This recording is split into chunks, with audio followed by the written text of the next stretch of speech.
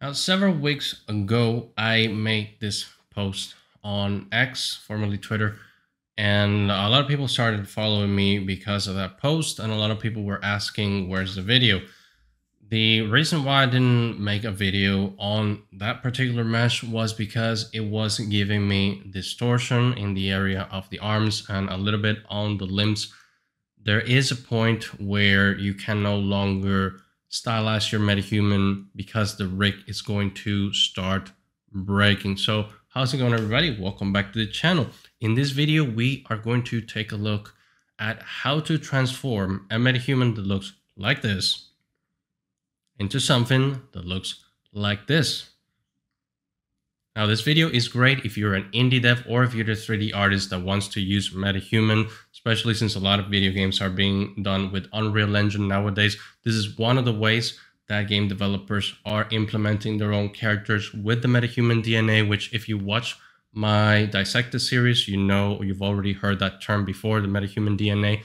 A lot of Unreal Engine games are using that, but they're not using the stock MetaHumans. They're using their um, own characters and this, what I'm going to show you today, is one of the ways. So if you're not a 3D artist, you're just a gamer that like to know what makes games run, this is a great video for you. Make sure you stick around all the way till the end so you can know how everything works. Now, for some of my followers that are Unreal Engine experts, I know some of you are going to say, can you just do this with the parametrics? I've tried. I've tried using the parametric sliders. They're horrible honestly, I cannot get close to the results that I got by spending five minutes in ZBrush using one of the base mesh of the metahumans. And all the things I did was in order to create a more appealing character, uh, in this case, a appealing female character that still retains the metahuman DNA, still can work with the metahuman rig, so you don't have to do anything external or any other of the other crazy stuff that I used to do in Maya. So with that being said, let's get started. Okay, so we are in a new program that I haven't talked about before.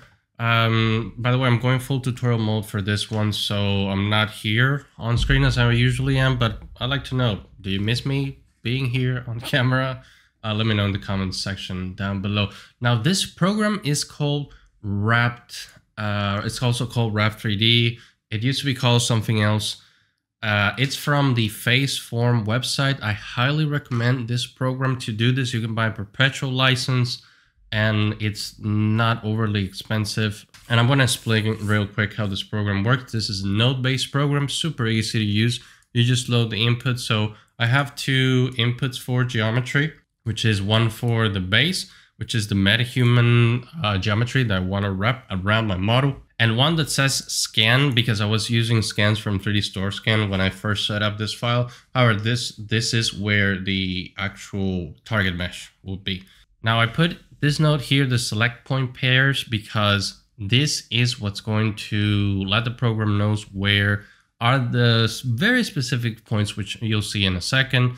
Select polygons. Um, this is something I used to have for some reason in this version of the program it's not as necessary as it used to be.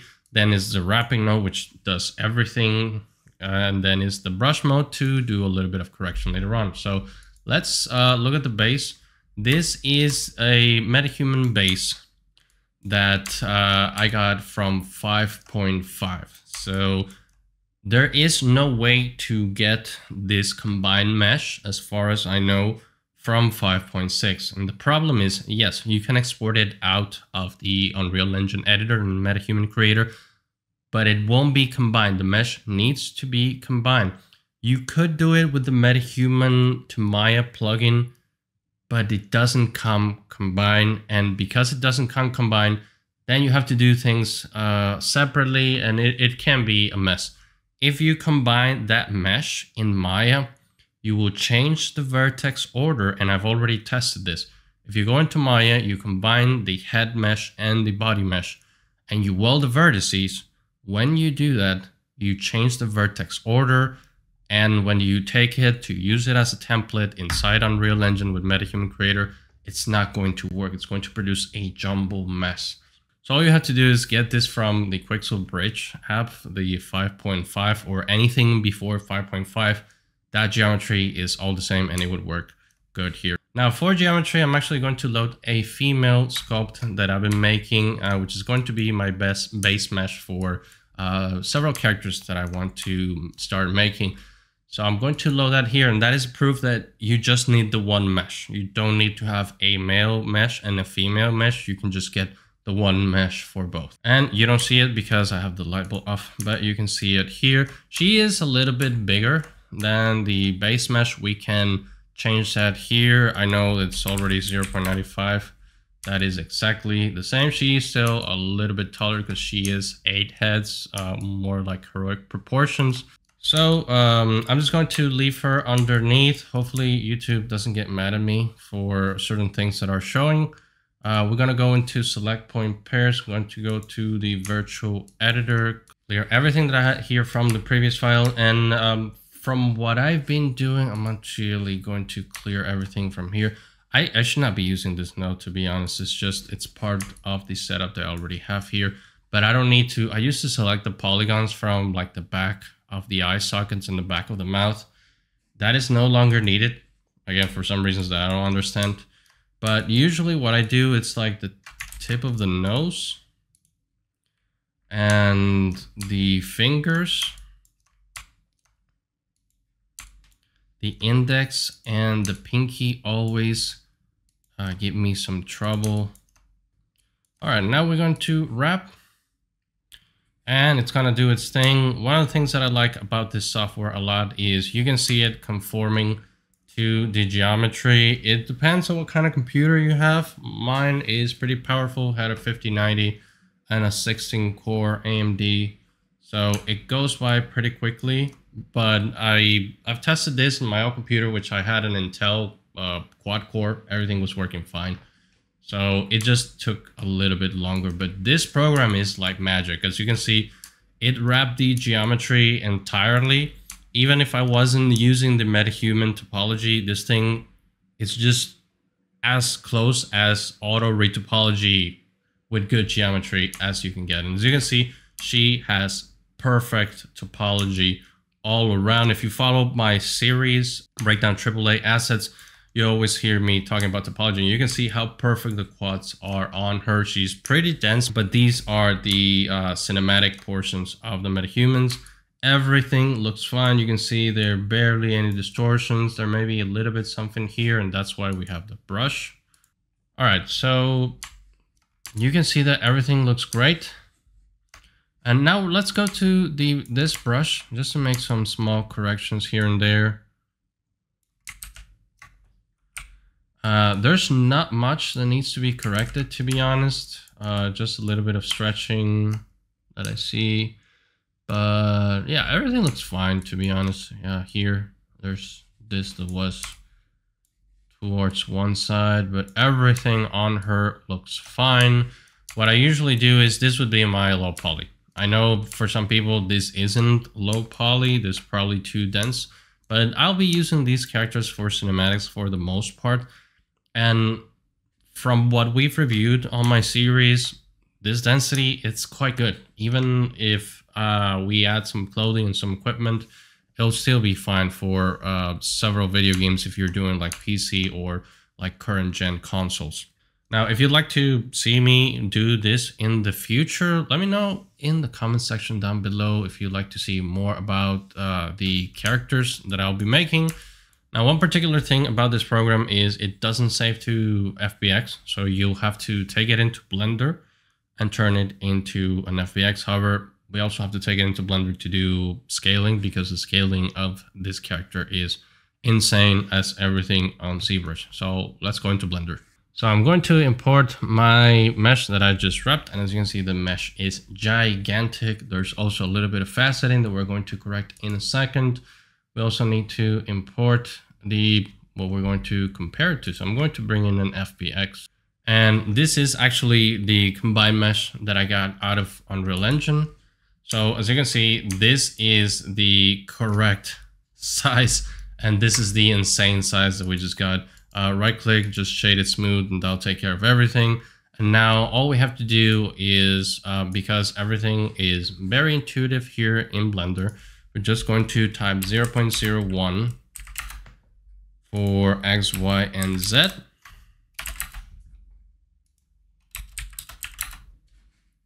All right, and this is the size that we got. It She could be a little bit taller like the other mesh, although what I've tested is if you do it this way, it's not going to affect the position of the joints. I just like the height that I had previously, so I'm just going to rescale her a little bit more, but you can leave her at, at the scale that she was before. So uh, make sure we unhide her and control A to apply all transforms. And now we're going to export her as an FBX. Okay, here we are in Unreal Engine. I've already created a new metahuman. Uh, I have a video on how to do this, by the way, so I'll leave it in the description down below if you are brand new to this. Uh, just double click the MetaHuman creator. All right, we load our MetaHuman creator over here and we're going to go into body and we're going to click on conform. I've already brought the FBX that we just exported out of Blender. She is right here and we're going to throw her from template and we're just going to do this and uh, just leave it as it is. It says fit from mesh and skeleton. I'm going to click on import. And as you can see, it instantly applies her shape looking very, very good right here overall. And uh, after that, we can just uh, select like a skin and everything. Let's go into skin, see what kind of skin uh, it's applied. And uh, you can see that she looks great. One of the things that I had to also do was change where the belly button was positioned because the way that the normal maps are presented, it looks a little bit weird. I think belly button should be a little bit higher. But you can fix that on some of the maps like I did for her right here. As you can see, the belly button is closer to the shirt. That's something that you need to do in Photoshop. And uh, if you want to see the tutorial, just let me know in the comment sections down below. I'm not going to worry so much about the texture. This is about the whole body proportions. And you can see that everything transformed pretty well. Let's just add a skin for her, kind of like around here. I think that's good. And let's give her some hair. Do I still have the... Right, I'm gonna give her, uh, this looks insane. I'm just going to give her the casual, um, classic MetaHuman look that we had for females back in the day, because this is one of the first uh, hairstyles that came out. Almost all the MetaHuman females had this hairstyle. So I'm just going to leave her uh, that way because again, we're not going to worry too much about other than proportions. And if the rig is working, I'm going to click create full rig. Uh, okay, she is rigged. I had to change her hair because that hairstyle was driving me nuts. I saw that hairstyle way too much. And uh, all we have to do is download the textures. I'm going to download 4K textures because again, this is just the test, although I highly recommend that you download the 8K textures for maximum cinematic quality. If you're doing a game, uh, 4K or even 2K will work fine. As you're going to see right now, once the textures are applied, 4K textures work pretty well unless you're going to do extreme close-ups, which if you're doing a game, you probably don't. You'll just do uh, cinematics completely separate. All right, she is uh, complete and uh, we can actually do a little animation. Let's do body range of motion. Let's hit play. So you guys can see that the rig is working completely, completely good. She is not heavily stylized when it comes to the proportions. However, I do think that she has a little bit of a different proportions than any metahuman that you can get here in MetaHuman Creator if somebody has managed to make something like this with MetaHuman Creator, let me know because I think it takes way too long to do it with the parameters. This in ZBrush, uh, as I mentioned in the beginning, it took me like five minutes. If you'd like to see more about this, just let me know in the comments and I'll, I'll do the male character next because that's uh, like having a heroic character. Even if you do the preset that looks like Hugh Jackman, I don't think it, it looks great. So we'll have a, a little bit of a better looking, more appealing metahuman right here. And again, if you're going to customize your characters, this is the way to go. Very easy way to customize your characters as long as you have that initial um, mesh. All you have to do is wrap it around. You can use the Faceform program, which I highly recommend. But if you want to go the free route, you can also uh, use shrink wrap. I think it's called in Blender, and you you'll pretty much be doing exactly the same thing that I did. And if you want to do the changes to the metahuman inside Blender, because uh, Blender has sculpting now, I hear it's very close to. I haven't tested, but if you know how to use sculpting in Blender, then you can do everything that I did here completely for free. And as you can see, her rig is working perfectly. Um, I've tried to stylize her a little bit more, like give her longer legs.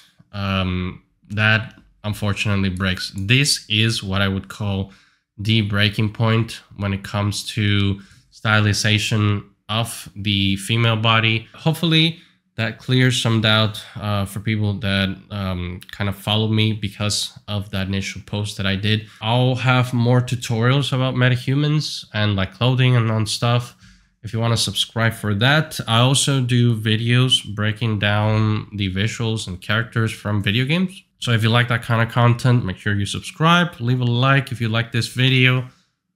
Thank you so much for watching until this point, and I'll see you in the next one.